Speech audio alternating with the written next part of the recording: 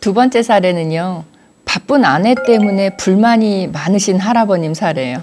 근데 이 불만을 그 바쁜 아내라고 일컬으신 할머니한테 막 불만을 얘기를 못 하시고 좀 무서우신가 봐요. 저한테 얘기를 하시는 거죠. 그래서 상담을 하셨어요. 이 어르신은 75세이십니다. 그래서 지금 아내하고 두 분이 사시고 계신데요. 둘이 살고 계시는데 제가 상담을 이렇게 들어봤더니 할머니는 되게 활동파예요, 보니까. 할아버님은 절대 집 밖에 안 나가는 분. 근데 이 할아버님이 집 밖에 안 나가시는 게 코로나 시기였잖아요. 그래서 그게 흉이 안 됐어요. 원래 집 밖에 안 나가는 분인데 코로나가 딱 오고 나니까 이 할아버님은 코로나 때문에 안 나가는 할아버지가 된 거예요. 그러니까 남들이 흉 볼 일이 아니었죠. 근데 할머니가 요즘 들어 그렇게 친구들 모임에 많이 나간대요. 할아버님 표현에 의하면 우리 그런 말 하죠. 허구 헛날 나간다고. 음.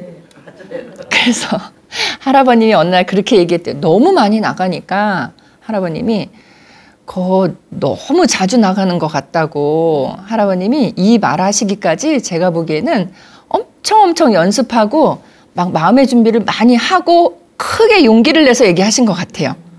왜냐하면 그렇게 한마디를 했잖아요. 너무 많이 나간다고. 그랬더니 할머니가 할아버지가 얘기한 거에 한 10배 되는 톤으로 이렇게 얘기하시더래요. 코로나여서 내가 지금 몇 년을 못 나가다가 이제 겨우 나가는데 그거 갖고 뭐라 그런다고 얘기하니까 할아버지 완전 쬐끔해지신 거예요, 이렇게. 얼마나 내가 용기 내서 얘기를 했는데 할머니가 더 크게 화를 내시니까 말을 못 하는 거예요. 그러니까 이제 할아버지 생각에는 요즘 이제 TV 같은 데에서 코로나가 줄어들었다고 막 이게 보도 나오고 하니까 사람들이 막 이렇게 기분도 들뜨고 뭐 친구들이랑 만나는 것도 많이 하고 그래서 그런데 할아버지는 하나도 기분이 좋지도 않고 즐겁지도 않다고 얘기를 해요. 근데 할머니는 신이 나신 거죠, 이제. 아. 그래서 이제 할머니의 핑계는 어, 코로나 이제 없어졌으니까 나 그동안에 못 만났던 거 만날 거라고 하면서 이제 다니시는 거예요. 근데 이게, 어, 제가 볼 때는 딸이 있으셔요. 근데 딸이 할아버님 근처에 살고 있거든요. 근데 딸이 볼 때도 엄마가 좀 과하다 생각이 드나 봐요. 그리고 아버지가 조금 안 됐다는 생각이 드나 봐요. 왜냐하면 누가 시킨 게 아닌데 딸이 꼭 애들 이제 아침에 일어나서 딸 입장이에요. 아침에 일어나서 남편 보내고 애들 보내고 유치원 보내고 집안일 이렇게 싹 하고 그리고 점심 때 이후에 오후에 뭐 한 두시나 돼서 애들 유치원 갔다 오잖아요. 애들이 다섯 살 여섯 살이래요. 그럼 유치원 갔다 올 때 유치원 차 쓰는 데 있죠. 거기 가서 애들을 딱 내리는 애들 데리고 할아버지 집으로 온대요. 왜냐하면 아버지 혼자 계시니까.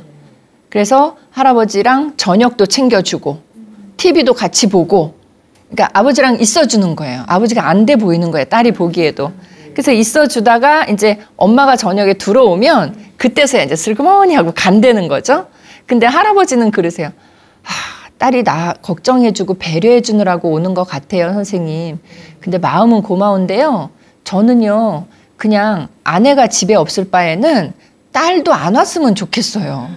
왜요? 그랬더니 고맙지 않으세요? 그랬더니 아니, 선생님, 딸이 와서 밥 챙겨주고 하는 건 좋기는 해요. 근데 애가 둘이 오잖아요. 밤늦게까지 뛰죠. 아우, TV도 늦게까지 보죠. 아주 정신이 하나도 없어요. 혼이 다 빠져요. 차라리 딸이랑 애들들이 안 오면 그냥 아내 없을 때 그냥 나 혼자 조용히 쉬고 있으면 그게 더 낫대요. 근데 이 딸이 효녀는 효녀인 것 같아요. 매일 와요, 매일. 어, 매일 온대요, 매일. 그러니까 할아버지가 오지 말라 소리도 못하고, 어. 근데 이제 이렇게 딸이 그러고 있잖아요. 아버지랑 손주들이랑 있으면 할머니가 저녁에 이렇게 들어오시는데 보면 취기가 올라서 들어온대요. 술 드시고 오신 거예요. 근데 할아버지 보시기에 모임이 참 많대요, 할머니가. 그러니까 이렇게 알딸딸하게 들어와서 조금 미안해는 한대요. 왜냐하면 미안하지 않으면 그 말을 할 이유가 없는데 이런 말을 한대요. 아니, 오늘은 박 여사가 밥을 그냥 다 샀지 뭐예요? 이렇게 얘기를 한다는 거예요. 그러니까 나는 돈을 안 썼다 이 얘기를 하는 거죠. 그러니까 할아버지는 저한테 그래요. 선생님 세상에 공짜가 어디 있어요. 한 번 얻어먹으면 한 번 사고 아니면 그동안 산 게 있으니까 또 그 사람이 냈겠죠. 어. 그러니까 나는 집사람이 돈 안 썼다고 다른 사람이 다 샀다 그런 건 나는 안 믿어요. 아셔요, 아셔. 왜 아시냐면 이 할아버집이 엄청 구두쇠예요. 엄청 근검 절약이 몸에 확 배이신 어르신이에요. 그러니까 이 어르신이 성격도 내성적이기도 하지만 밖에 모임을 안 가지시는 이유 중에 하나가 돈이 드니까. 그래서 안 쓰시는 거예요. 근데 제가 볼 때는 두 분을 할머니랑 할아버지랑 두 분을 섞어서 반으로 딱 나눴으면 딱 좋겠어요. 응. 할아버지는 모임이 아예 하나도 없어요. 한 하나조차도 없어요. 근데 할머니 또 너무 많으시고. 어, 그러시니까 이게 안 맞는 거예요. 근데 할아버님이 너무 근검절약 하시고 아껴 쓰시고 하시느라고 밖에 외출도 안 하시고 그러다 보니까 할머니가 매일 나가는 게 나랑 너무 다르죠. 그래서 굉장히 불만이시잖아요. 근데 상담하시는 내용 말투를 들어보면 말투 속에 불, 내용은 불만이 들어있지만 어느 측면에서는 좀 부러워하시는 것도 있더라고요. 아, 저 사람은 저렇게 친구들도 만나는군 하고 부러운 감정도 느껴졌어요. 그래서 이제 제가 어르신하고 말씀 나누면서 그렇게 얘기했어요. 할아버님은 할아버님 입장에서 생각을 하시지만 어르신 일단 할머니가 자꾸 밖으로 나가시는 거 문제는 두 번째로 말씀드릴게요. 첫 번째는요. 따님이 그렇게 매일매일 오는 건 정말 정말 고마운 일이에요, 어르신. 나이 들면요. 우리 부모든 남의 노인이든 여러 이유를 대면서 가까이 안 가려고 하세요. 일단 젊은 사람들이 아 노인들은 냄새 나요 싫어요 이거부터 시작해서 노인들 곁에 가지 않으려고 하는 이유가 얼마나 많은 줄 아세요? 그게 우리 아버지여도 마찬가지인데 따님은 따님도 어르신 생각해 보세요. 애들 유치원 갔다가 오고 하면 그냥 본인 집에서 있으면 편해요. 애들끼리 놀으라고 하고 본인 쉬기도 하고 할 수 있는데 굳이 여기 오잖아요. 할아버님 걱정돼서 지금 오는 거거든요. 할아버님하고 세대도 다른데 뭘 쎄쎄쎄하고 놀 것도 아닌데 아버지 식사 챙겨드리겠다고 오잖아요. 제가 볼 때는 효녀 심청하고 둘이 견주어도 절대 뒤지지 않을 만큼의 효녀예요, 어르신. 앞으로는 오면은 할아버님이 저한테 이렇게 얘기를 하실 때에는 딸이 왔을 때 표정에는 좀 귀찮은 표정이 있었을 것 같아요. 그러니까 앞으로는 따님이 오시면 반겨주세요, 어르신. 음, 그렇게 말씀을 드렸고, 두 번째는 할머니 자꾸 나가시는 거에 대한 얘기예요. 할아버님, 제가 볼 때 할아버님이 그 할머니 나간다는 얘기 앞으로 한 번 더 하시잖아요? 그러면 세 마디 이상 들으실걸요, 아마? 음, 본전 못 찾으시는데요, 제가 들어보니까. 그러니까 나가시지 말라고 하지 마시고, 할아버님이 좀 나가셔야 될 것 같아요. 어. 어, 왜 할머님이 저러니까 나도 이렇게 나가야지 이 개념이 아니고 할아버님은 지금 조금 너무, 너무 정체되고 침체된 느낌이 드세요. 근데 할아버님이 이래요. 선생님, 어디가 가렵기는 한데 왠지 긁어도 시원해지지 않는 느낌 아세요? 이렇게 얘기를 하세요. 그게 뭐냐면 외롭기는 하시는데 외로워하세요. 외롭기는 한데 아, 누구들을 만나야 이게 외로움이 채워질 텐데 친구든 누구든 만나려고 하니까 돈이 들잖아요. 그러니까 안 만나고 사람들은 안 만나고 외롭지는 않고 싶고 하니까 이게 해소가 안 되시는 거예요. 그래서 제가 그랬어요. 어르신, 돈을 좀 쓰시는 게 안 나을까요? 어. 이 시간 이후로 나의 노후에 대한 일종의 작은 투자라고 생각을 하시고 사람들 만나는데 조금 투자를 해보신다면 아마 그 쓰신 돈 그 이상만큼의 효과를 얻으실 수 있을 것 같아요. 그 왜 우리가 그러잖아요, 어르신. 돈 주고 사지 못하는 거. 중에 제일 큰 게 친구거든요. 예. 있는 친구도 자주 연락 안 하고 만나지 않으면 없어져요. 뭐처럼 없어지냐면 산에 가보시면 할아버님이 이제 돈 안 드니까 산에는 좀 가시더라고요. 산에 가보시면 길 있죠. 잘 닦아놓은 큰 길 말고 조그만 길들도 있잖아요. 이 조그만 길들은요, 원래 없던 길인데 사람들이 다니기 시작해서 길이 생긴 거예요. 반대로 원래 있던 길도요, 사람들이 안 다니기 시작하면 그 길은 없어져요. 어르신, 친구 관계가 딱 그래요.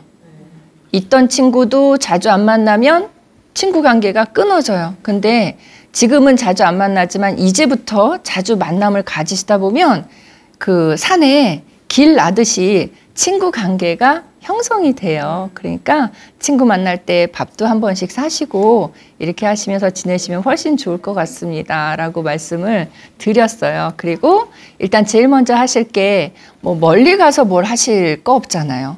동네, 이웃분들, 동네 있는 그 연배 비슷한 친구분들 이렇게 가끔씩 만나시면 좋을 것 같고요. 그러시기 위해서는 동네 안에 제일 좋은 거 있죠. 경로당 있잖아요. 경로당에 먼저 한번 방문해 보세요. 어, 다녀보시면 연배 비슷하신 분들 많이 있으십니다. 그래서 친구 관계 유지하시고 그렇게 해서 동네 친구가 형성이 되면 와, 멀리 사는 친구도 좋지만 친구가 동네에 친구가 있다. 이건 참 좋은 조건인 것 같아요.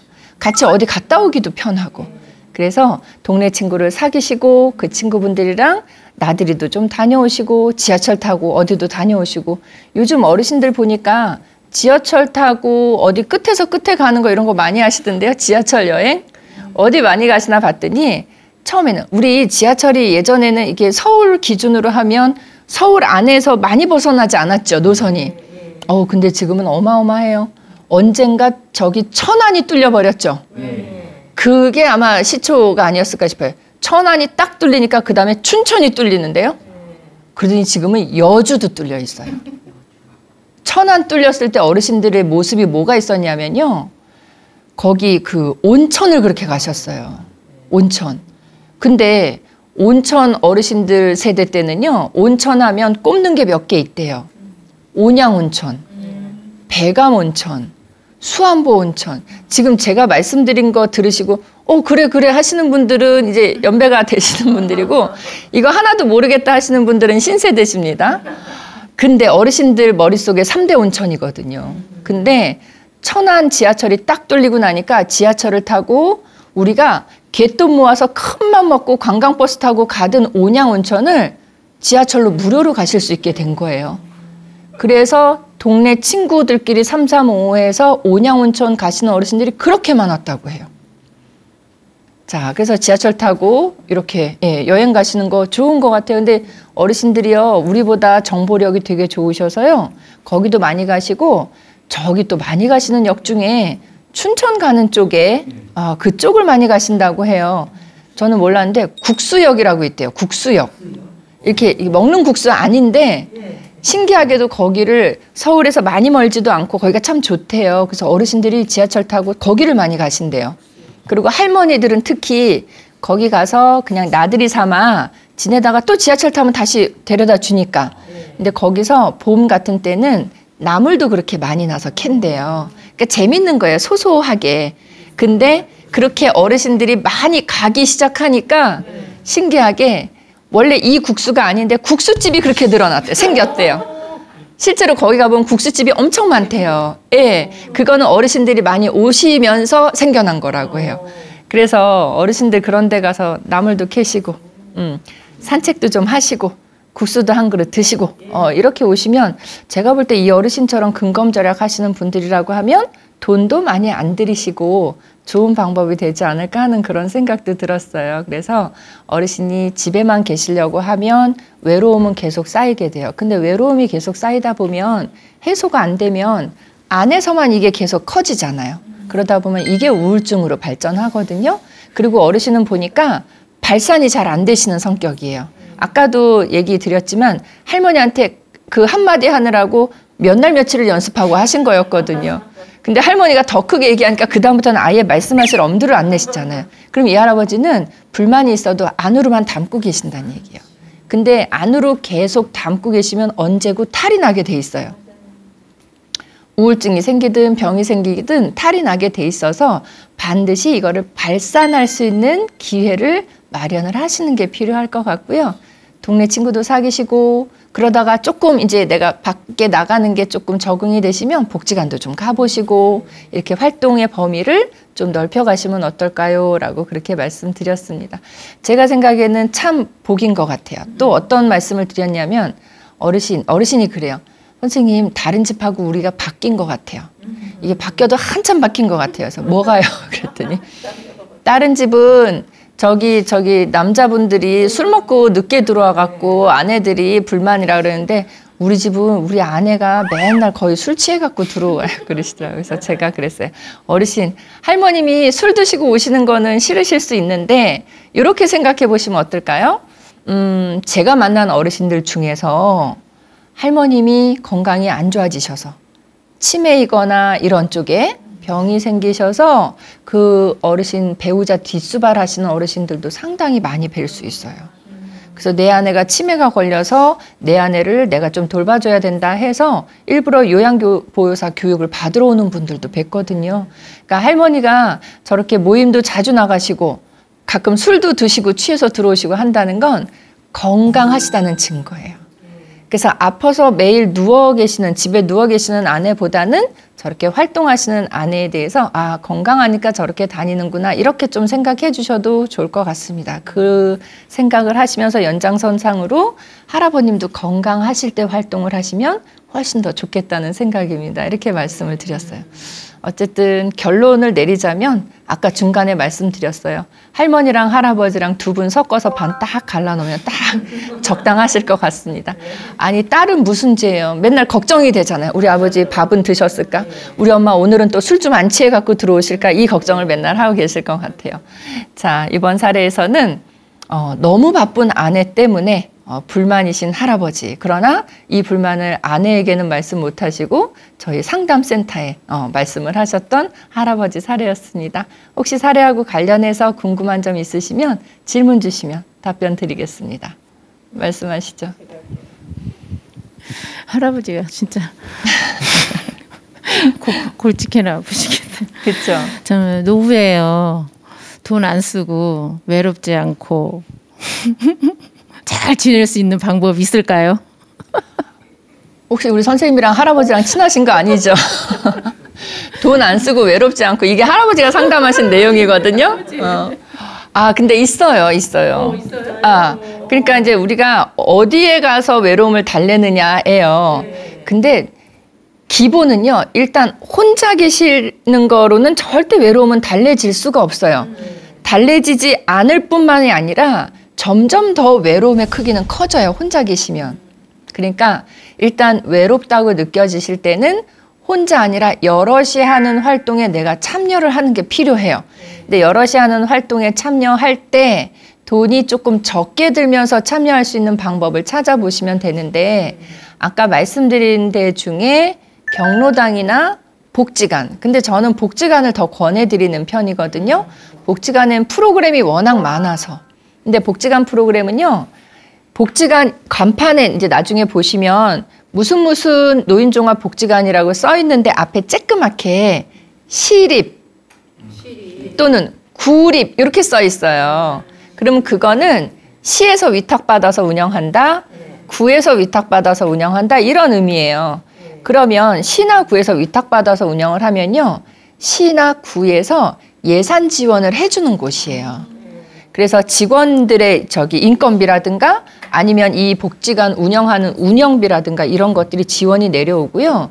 또 어떤 프로그램을 할 때 그 프로그램에 대한 예산 지원도 나와줘요. 그러니까 어르신들이 거의 무료로 이용하실 수 있을 것 같거든요. 그래서 거기 가시면 복지관에서요. 시나 구에서 예산 지원해줘서 그 같이 그 뭐죠? 복지관 차 타고 여행 가는 프로그램들도 있어요. 예. 그러니까는 거의 무료예요. 비용을 낼 때도 있어요. 근데 그 비용을 낼 때가 뭐라고 얘기해야 될까? 이익을 남기려는 그 비용은 아니에요. 왜? 너무 무료로 하면 왜 그런 얘기들 가끔 complain 들어온대요. 호객 행위 같은 거. 제가 예전에 어느 안과하고 협약을 맺어가지고 어르신들 백내장 수술 무료로 해주는 거를 했었어요. 근데 백내장은 많이 있으시잖아요. 근데 그 백내장을 무료로 해준다고 하니까 어르신들이 신청을 상당히 많이 하셨어요. 저희가 그 사업을 몇 년 동안 했거든요. 했는데 그게 중단이 된 이유가 뭐냐면 그 안과도 좋은 마음으로 이거를 해드린 거고 왜냐하면 내가 노인들 때문에 돈을 버는데 요 정도는 또 사회에 환원해야 되겠다라는 생각에서 무료로 해주겠다는 거였어요. 좀 형편이 어렵거나 하는 분들. 저희도 노인들을 위해서 어떤 좋은 일을 하니까 좋았고 서로 좋았는데 인근에 있는 안과가 complain을 걸은 거예요. 거기서 무료로 해주니까, 그러니까 전체 노인을 다 무료로 해주는 건 아니고 돈 받고 그냥 일반적으로 진료해드리는 분도 계시고 좀 생활이 어려운 분들은 무료로 해드리잖아요. 그러니까 이제 어쨌든 간에 무료로 해준다는 게 소문이 나니까 이게 홍보의 효과가 있다는 얘기죠. 인근 안과들이 그 불만을 토로한 건. 그러니까 저게 오히려 무료로 해주는 그 자체가 사람을 더 오게 유인하는 유인책이 될 수 있다. 그래서 우리는 지금 피해를 보고 있다. 이렇게 한 거예요. 그래서 그 사업이 중단이 되는 경우들도 있어요. 근데 복지관에서 하는 프로그램들은 그런 어떤 그 지역 그 인근의 경쟁 같은 거는 없으니까 그냥 순수하게 복지를 위해서 하는 거니까 비용을 받는다 해도 최소한의 비용만 받는 거예요. 받고 그건 다시 어르신들한테 또 쓰여집니다. 그러니까 돈을 안 들이거나 적게 들이고 외로움도 달래고 할 수 있는 방법으로 제가 권해드리는 방법은 복지관 이용하시는 거고 복지관에는 설비가 갖추어져 있어요. 그 설비를 위해서 돈을 따로 드릴 필요가 없고 게이트볼 하면 게이트볼장 아예 딱 갖춰져 있고 또 지역 사회에서 저기 헬스장 같은 거 내가 다니고 싶다 하면 돈 내고 다녀야 되잖아요. 복지관 중에 헬스장 만들어진 복지관이 있어요. 근데 그 헬스장은 어르신들 몇몇 모아서 그 집단으로 그룹으로 PT도 해드려요. 그러니까 지도도 해드리는 헬스장이어서 이게 시중에서 하시게 되면 굉장히 비쌀 수 있는데 무료이거나 거의 저렴하게 이용하실 수 있어서 제가 권해드리는 거, 방법은 복지관이 되겠습니다. 어, 구마다 하나씩 이상은 있으니까 검색해 보시면 쉽게 찾을 수 있을 것 같습니다. 자, 두 번째 사례도 이렇게 마무리를 지으려고 합니다.